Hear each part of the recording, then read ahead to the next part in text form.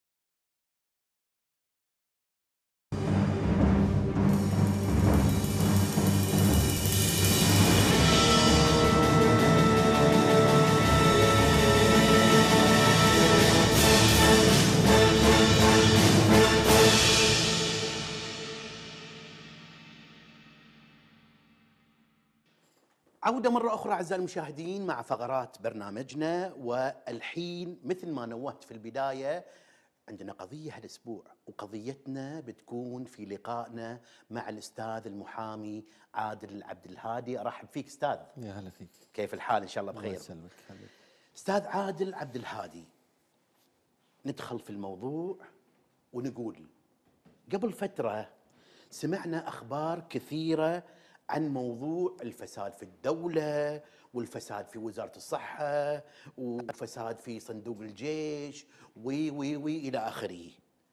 طيب أنت كمحامي ما شاء الله لك باعك في هالأمور هذه شنو تصورك عن سبب التطورات هذه اللي قاعد تصير؟ يعني عادل بكل بساطة المسألة مش متعلقة بأن الفساد زاد أو الفساد تفشى ولا غيره. لا المسألة متعلقة بأن هناك قوانين بدأت الحكومة تكون جادة في تطبيقها لمحاربة آه، الفاسدين والمستولين على المال العام أو المتجاوزين على المال العام، هذا كان السبب الواضح. ولا تنسى أن هناك آه، مواقع التواصل الاجتماعي وغيره بدأت المسألة تصير كبيرة وتبين إن هناك هناك جريمة في الصحة وجريمة في الداخلية وجريمة في الدفاع وجريمة في كل مؤسسات الدولة بدأت تظهر والحكومة كانت جادة بأنها تضرب بعصاها باحالتهم إلى النيابة والنيابة تأخذ مجراها والمحكمة تأخذ مجراها. نعم هذا يعني تصورك بالنسبة أكيد. لهالموضوع هذا، طيب خلينا نكون صريحين، أنا جايبك أستاذ عادل عبد الهادي بصفتك آه،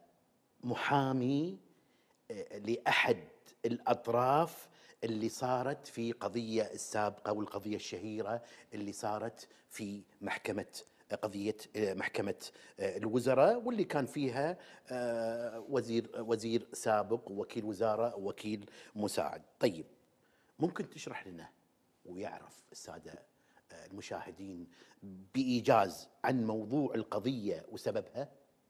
يعني هذه بكل اختصار من ملاحظاتي لمواقع التواصل الاجتماعي للجرائد الكويتية للتلفزيونات لأن يضع هذا الموضوع في الصفحات الأولى ويضع كخبر أول في كل المواقع الإخبارية الكويتية بأن آه، الحكومة الكويتية أو صدر حكم تاريخي بالصراحة لأن هذا الحكم التاريخي لأول مرة يطبق على ثلاثة من آه، القياديين الكبار في وزارة الصحة الوزير والوكيل والوكيل المساعد للشؤون القانونية وأيضا الرئيس آه، أو المدير العام لشركة أتنا الأمريكية. لا شك أن هذا الموضوع موضوع تاريخي وموضوع كبير.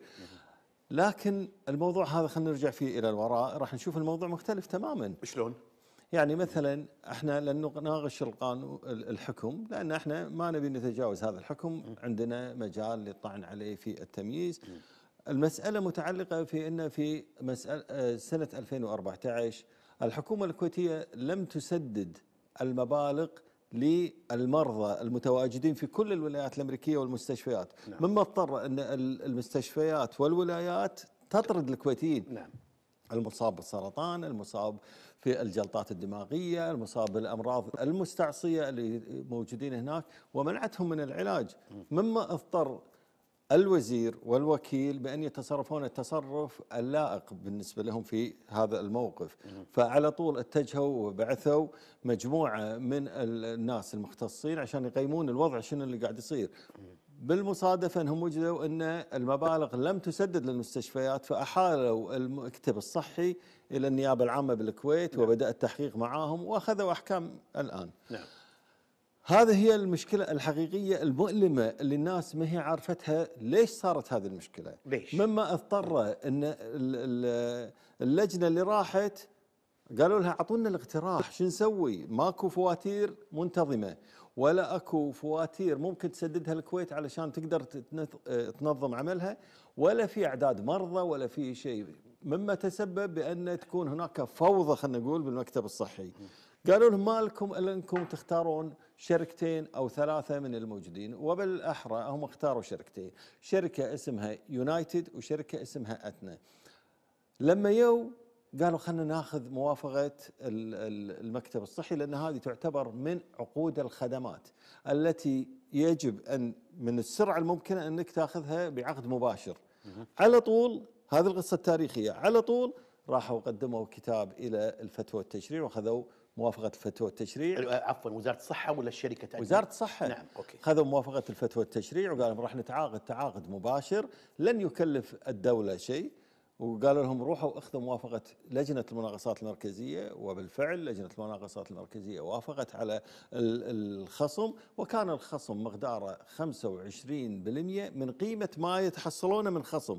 يعني إذا كانت مثلا وفروا ألف دينار 25% 25% من ال 1000 دينار نعم. اللي هم وفروه يعني إذا كانت الفاتوره 1000 دينار وهم خصموا 50 دينار 500 دينار هم راح ياخذون خمس- 25 من المبلغ هذا. يعني ما راح ياخذون شيء من من من, من أموال أبداً. الدولة. نعم من الأموال. نفسها. ابدا ما راح ياخذون شيء وبالتالي هم راح يحافظون على المال العام وما كلفوا الدولة. هاي يعتبرونها من عقود الخدمات اللي حتى قانون مال ال- ديوان المحاسبة ما يطلب اللي هو الإذن فيها قبل التعاقد. نعم نحن خلونا نحط بالشاشة أعزائي المشاهدين شوفوا معنا. زين. إيه. وخليني أنا أقرأ لك إياه لما تشوفها. نعم. مثلا هذه ملخص مالت 2015 و2016 اللي هو وقت التعاقد مع شركة اتنا نعم. اليوم كم كانت؟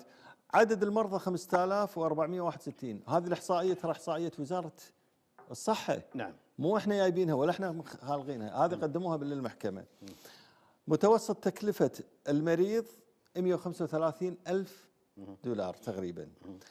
إجمالي الفاتورة كلها بالسنتين مليار و215 وكسور دولار, دولار. مليار و215 مل... هذا. إجمالي الخصومات اللي حصلتها الشركة 567 اذا هم وفروا على المال العام 567 وكسور مليون دولار. نعم. يعني المبلغ اللي هم يبونه يحصلونه من ال- المستشفيات خصموا منه حتى وصلت نسبة الخصم 15% مو الرقم اللي محطوط أساسا حتى بالاتفاقية الاتفاقية محطوط 27 ونص هم بالإجمالي لما خلصوا وصلوا إلى 15 ونص وهذه إحصائية رسمية من وزارة الصحة. قدموها المستغرب ديوان المحاسبة وقالوا تفضلوا هذه هي النسبة. نعم. شفنا هذه الإحصائية. نرجع الحين مرة ثانية. أستاذ المحامي عادل عبد الهادي. طبعا المحكمة أصدرت حكمها واعتبرتها الأوساط القانونية كلها والشخصية حكم تاريخي ولأول مرة يتم محاسبة وزير وآخرين عن فساد حصل خلال فترة توليهم لوظائفهم. شنو تعليقك؟ يعني بكل بساطة أكيد هذا حكم تاريخي لأن بالنسبة للكويت أول مرة يحاكم وزير نعم. يعني في تاريخ الكويت من الدستور وبدايته واستغلال الكويت لليوم أول مرة يحاكم وزير واثنين من الوكلاء وياهم رئيس أكبر شركة تأمين في العالم مش في أمريكا نعم. رأس مالها مليار هذا الموضوع بالنسبة لي أكيد أشوفه تاريخي لأنه أول مرة يتحاسب وأنا ما ألوم الكويتيين إنهم وايد فرحانين أن القضاء والحكومة قاعدة تدفع بأن آه، تحاسب كل يلا حاسبوا الفساد يلا كذا وجيبوا الفساد. الوزراء وش معنى؟ بالضبط. نعم. نعم حاسب الفساد. وأنا معاهم حاسب الفساد. ولكن صح. لكن حاسبه بطريقة صحيحة. مو اللي وفر على المال العام 567 مليون تحاسبه. يعني أنا استغربت من هذا الموضوع أن الحكومة الكويتية توجه هذا التوجه. ما في مشكلة. للحين ما في مشكلة. خلينا نفترض الناحية العكسية. لو أنهم أخطأوا خطأ إجرائي بانهم أخطأوا وهذه فرضية مش موجودة أساسا. لأن راحوا ت- راحوا خذوا كل الموافقات موافقات، نعم. بس خلينا نفترض انهم خذوا هذا الإجراء. نعم. ما عندنا مشكلة. يعتبرون الآن في حكم القانون تسببوا بخطأهم بالإضرار بالمال العام. نعم. ولو إني أنا وضحت لك بالأرقام إن ما في إضرار بالمال العام بالعكس في توفير 567 مليون. اترك هذه. هل هذا يجوز للحكومة؟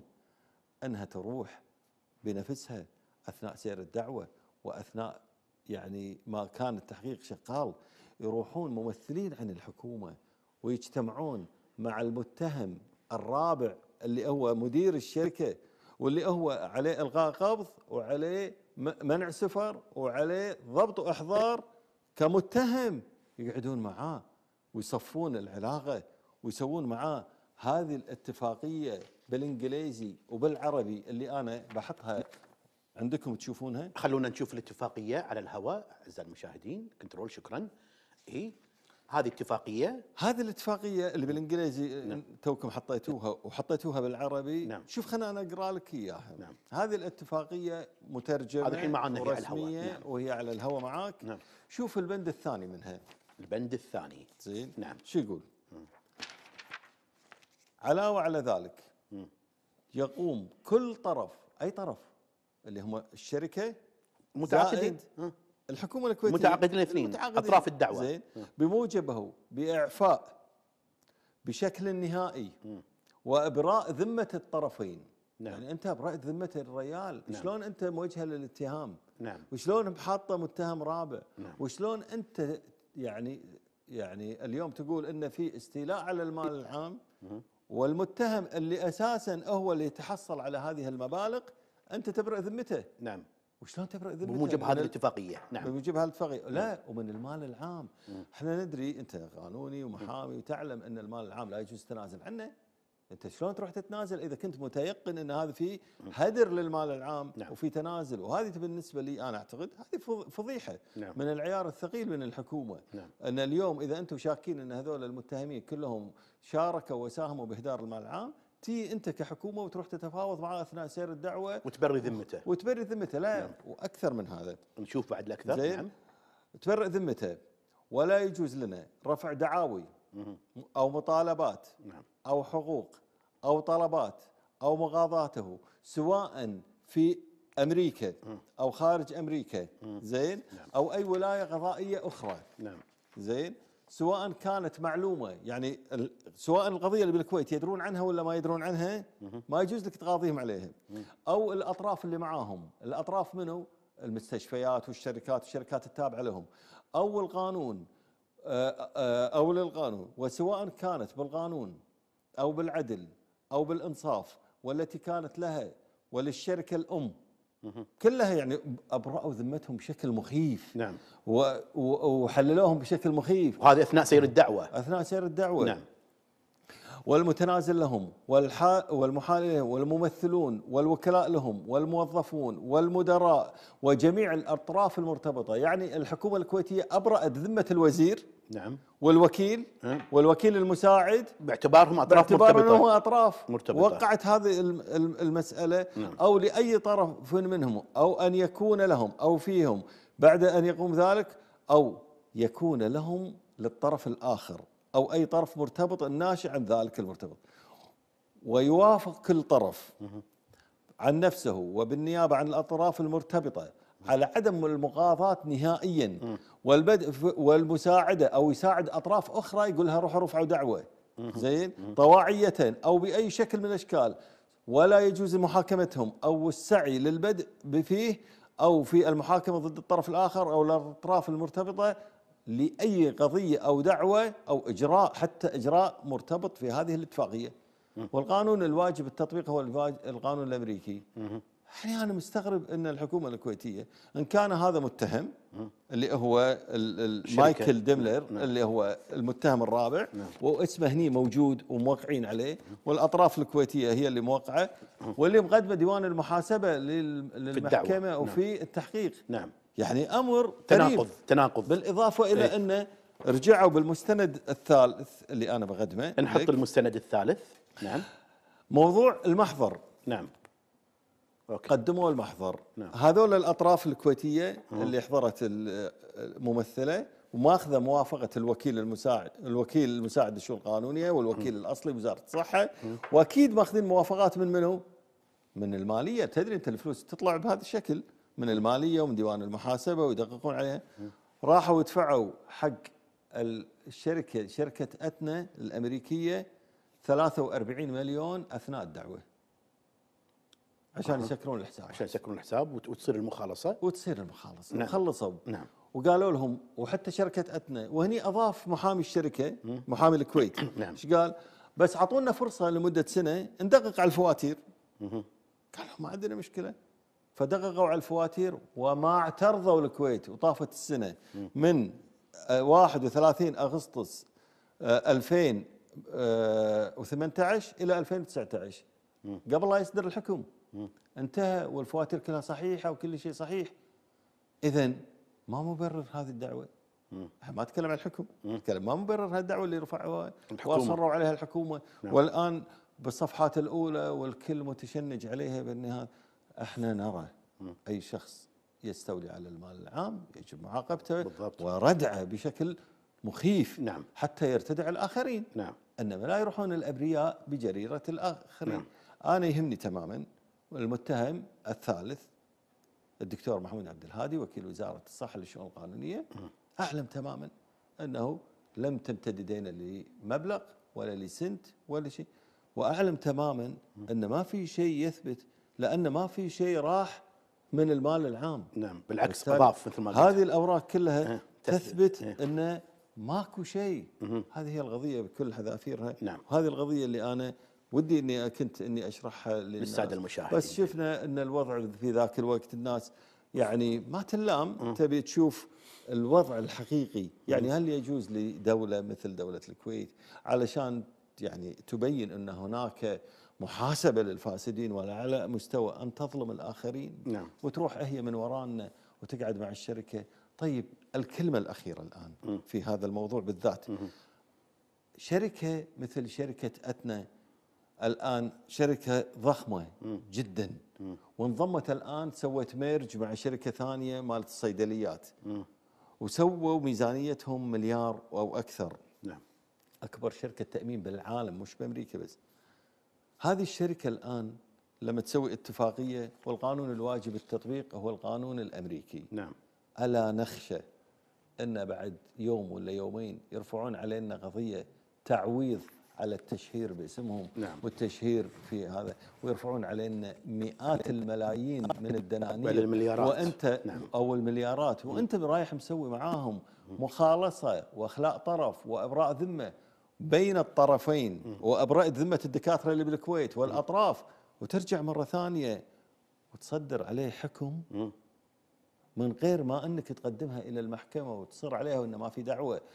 الآن أصبح وأنت محامي تدري. نعم. أنا ابرا ذمتك وأروح أرفع عليك قضية وأحط عليك حكم وأنت متضرر. من هذا الموضوع. وحتى الاختصاص ما يكون للمحاكم الكويتية على حسب العقد المحاكم الأمريكية. ولو إن القانون القا- القانون الجنائي بالنسبة للمال العام يختص لأن أنت كويتي. نعم. هذا الموضوع محل يعني آه، يقين بالنسبة لي. نعم. إنك أنت تحاسبهم ما في مشكلة. لكن أنت الواضح إنك أنت تروح تاخذ منهم موافقات هناك وإبراء ذمة واخلاء طرف لكل الأطراف وتيجي تعطيهم آه، حكم. وهذا الحكم ينتشر بالعالم ويوصلهم من المؤكد لو أقاموا عليك قضية. إيش بتسوي؟ نعم. بالإضافة إلى أن نعم. ككلمة أخيرة هذا حسب ما صدر يعني الآن بالحكم أن هذه الشركة مدانة ومجرمة صح ولا لا؟ بالضبط. طيب. الحكومة الكويتية تروح تتفق معاها وتسوي معاها عقد مع وزارة الخارجية لتأمين على كل السفارات في كل دول العالم. يعني شلون؟ مش منطقي يعني. طبعاً. يعني أنتم خلونا نكون منطقيين معاكم علشان إحنا يعني نستغرب. نصدق الموضوع. طيب أستاذ عادل عبد الهادي المحامي بعد ما صدر الحكم شنو اتجاهكم بعد صدور هذا الحكم؟ احتراما للقضاء واحتراما طبعاً. لكل الإجراءات ومصدقة عندنا. إحنا آه، بالنهاية عندنا حق الحين إن إحنا نميز هذا الحكم. تدري ال ال القانون قانون محكمة الوزراء رقم 88 سمح لنا إن خطوة واحدة الآن عندنا تمييز. اللي هي التمييز نعم. وإحنا متأملين تماما إن التمييز بإذن الله سينظر هذا الموضوع بعين فاحصة يشوف فعلا مقدار الألم اللي تسبب لنا هذا الحكم طيب أستاذ عادل عبد الهادي وضحت ما قصرت إذا هناك من كلمة أخيرة تحب تقولها في سياق هذا الموضوع طبعا إحنا قاعد نذكر هذا الموضوع وكلنا إجلال لهذا الحكم العادل ولقضائنا النزيه الشريف. ولكن إحنا قاعد نتكلم عن أطراف الدعوة ولماذا كان الحكم هذا بناء على يعني عدم حقيقة يعني عدم حقيقة عدم تبيان حقيقة موضوع وإحنا بيناها من قبل في قبل من قبل الحلقة في هذه الحلقة. شنو من كلمة أخيرة تحب تقولها؟ أنا الكلمة الحقيقية اللي أوجهها للحكومة ممثلة بوزاراتها ومؤسساتها أن كان هناك فاسدا فكلنا معكم. حتى لو كانوا أخواننا وأهلنا وعيالنا ما عندنا مشكلة. خلونا نضرب بيد من حديد لكن بدون أن نتعسف وبدون أن يعني آه، نسمي الأمور بمسمياتها. الفاسد المستولي بأوراق حقيقية يحاسب. يحاسب. بالضبط. أما مجرد الوهم والتآمر وعمل يعني نوع من أنواع الخداع للقضاء من الحكومة أنا أعتقد هذا اللي مو مطلوب، يعني اليوم شنو مصير هالعوائل اللي تشهر فيهم؟ نعم. بالمقابل شنو مصير الكويتيين المساكين كانوا يعتقدون إن هذه القضية قضية انضرب فيها؟ أنا حتى من اللي شفته إن بعض الكويتيين يرون إن الجماعة دش بجيبهم ال 81 مليون وال 86 مليون وغيره. هي شنو ه- هذا الموضوع؟ يعني في في الحكم أيضا في مبلغ هناك. عرفت؟ هذا المبلغ انه تدري إن القانون مال القانون الأموال العامة. انك ترد المبلغ مضاعف. ومضاعف ثلاث مرات 240 مليون وهو ما أخذوا منه ولا فلس وهو مدفوع للشركة اللي أساسا الشركة. ما راح تشتغل لك ببلاش. الشركة لها مستحقاتها وخذت مستحقاتها. وخذت يعني شيء بالنسبة لي أنا أعتقد إنه هذا أقل ما يمكن أن يؤخذ وبالتالي أنت اليوم لما تشوف إن الأرقام اللي أنا شرحتها لك تبين بكل وضوح انه في آه، يعني حماية للمال العام أكثر من ما هو اساءه للمال العام. نعم كل الشكر لك أستاذ عادل عبد الهادي على تفضلك وعلى تبيانك للموضوع اللي شغل الرأي العام في المدة الأخيرة، طبعا أعزائي المشاهدين أنتم سمعتوا الرأي سابقا من جهة واحدة والحين في هذا البرنامج برنامج مع يحيى سمعتوا الراي الآخر وهو الرأي اللي داخل القضية الأستاذ عادل عبد الهادي اللي كان داخل القضية باعتباره يعني محامي أحد الأطراف. وهناك مثل ما قال الأستاذ عبد عادل عبد الهادي هناك آه، يعني خطوة أخيرة وهي التمييز. وطبعا أنا والأستاذ عادل كلنا متفقين ومؤمنين بقضائنا العادل النزيه. وإن شاء الله كل صاحب حق بإذن الله بإذن. ياخذ حقه. كل الشكر لك أستاذ عادل. نلتقي إن شاء الله في يعني حلقات أخرى ومواضيع أخرى إن شاء الله.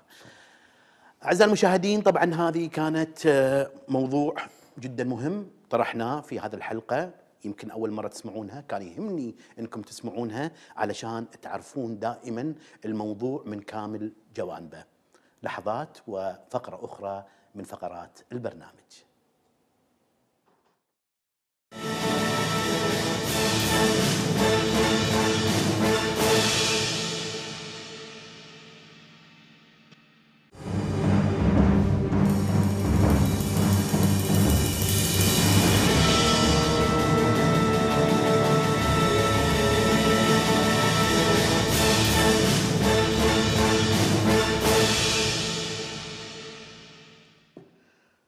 هذا كان لقائنا مع المحامي الأستاذ عادل عبد الهادي. وأنا يعني ما أدري أقول يعني آه، فعلا لازم في كل موضوع تسمع رأي الآخر وسمعنا الرأي الآخر علشان تعطي جميع الأطراف حقها.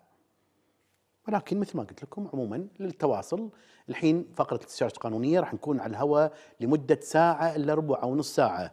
وراح أقول لكم هالأسئلة لازم أنا اليوم عهدت قلت لمتى أنا أجيب معي هذا ياخذ مني حمل؟ ليش؟ لازم نقول اليوم راح نقول الأسئلة هذه وتليفوناتكم واتصالاتكم واحد بالواتساب يقول لي أشكرك يا أستاذ عادل على استضافتك للمحامي عادل عبد الهادي اللي نورنا عن أمور ما كنا نعرفها. طبعا إحنا من واجباتنا هذا التنوير وهذا الشيء و... واستاذ عادل شنو ملاحظاتك؟ أنا لي ملاحظات بصراحة. يعني خلونا يعني أنا مفروض أنا محايد ولكن أنا يعني كمحامي أقول ملاحظاتي. زين؟ يعني على كلام الأستاذ عادل عبد الهادي ناس وفروا على المال العام حوالي 567 مليون دولار من أوراق الصحة. وفروا ولم يأخذوا. ليش يحاكمون؟ طبعا ما ندري. أنا إلى الآن يعني منبهر من كلامه ولكن أنا يعني عدة علامات استفهام. طيب أنت يا حكومة شلون تعطي براءة ذمة وتعهد بعدم رفع أي قضية؟ وتعطي المتهم الرابع فوق هذا الأمر ممثل الشركة 42 مليون دولار أثناء التحقيق ونظر الدعوة وانت تقولين إن هذا متهم واختلس شلون تعطينا 42 براء وبراءة ذمة وتقولين مختلس؟ يعني؟ شنو هالتناقض؟ يعني كن- كني ردت حق فقرة استجواب مرة ثانية ماني عارف. بس والله لمتى إحنا نستجوب؟ لأن نتكلم ماني عارف. إذا كان كلام الأستاذ عادل عبد الهادي 100% حقيقي وإحنا ما نشكك فيه. طبعا مع احترامنا لقضائنا العادل وهو ما مس القضاء ولا إحنا وإحنا قضاء- قضاءنا ما يحتاج نتكلم عنه لأنه مشهود بنزاهته ولكن الحكومة إذا كان اللي قال أستاذ عادل كلامه صحيح 100% معنى هذا الكلام ان الشركة أصبح من حقها إقامة دعوة تعو- تعويض بمليارات الدولارات نتيجة لرفع الحكومة الكويتية قضية عليها وفي مخالصة وبراءة ذمة. في نفس الوقت شلون أنت تعطين براءة ذمة؟ وخلاص خلصتي أمورك ما بيننا بينك أي شيء. في شأن هذا الموضوع تروحين ترفعين دعوة. ماني عارف. عموما إن شاء الله إحنا وضحنا لكم الموضوع من خلال دفاع أحد المتهمين. ونأمل إن كل واحد يأخذ حقه في النهاية. هناك تمييز. طبعا والتمييز هذا آخر شيء بالنسبة لمحكمة الوزراء. مثل ما قلنا هذا كان القضية المشهورة بوزير سابق وكيل وزارة والوكيل المساعد اللي مثله كان الأستاذ المحامي عادل عبد الهادي الأستاذ مح- محمود العبد الهادي.